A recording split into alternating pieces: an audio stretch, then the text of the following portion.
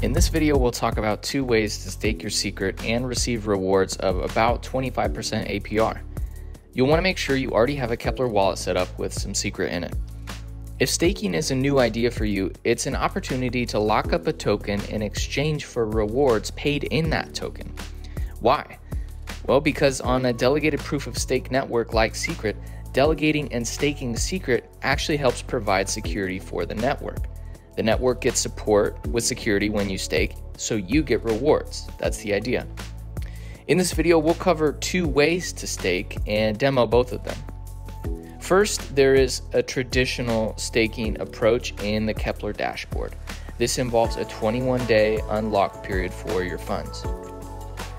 So we're going to click on stake here in the Keplr wallet, which will take us to the dashboard for staking. Then we'll select the chain, which is obviously secret network. And now we'll choose a validator. This is important. When selecting a validator you want to delegate to, consider these factors. First, decentralization of the network. Staking with smaller validators helps distribute power within the network, even if they might need to take a larger cut than the big validators. Second, consider how actively a validator participates in governance and whether its opinions are in line with your values. Also, think about the validator's reliability to keep the node online. Then, click on stake. Once you bond to a validator, those funds still belong to you, but remember that it will take 21 days to unbond them. Your rewards will accumulate in the dashboard, and you can see that pretty easily to claim them.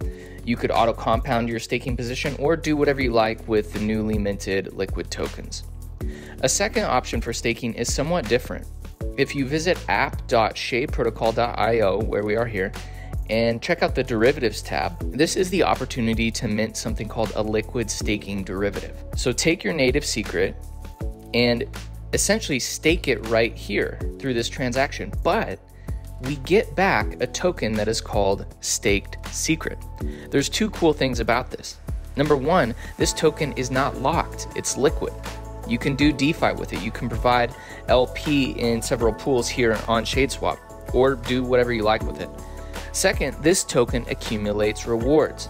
In the transaction that we just did, the secret we originally had has actually been staked within a diverse set of validators and is actually accruing staking rewards.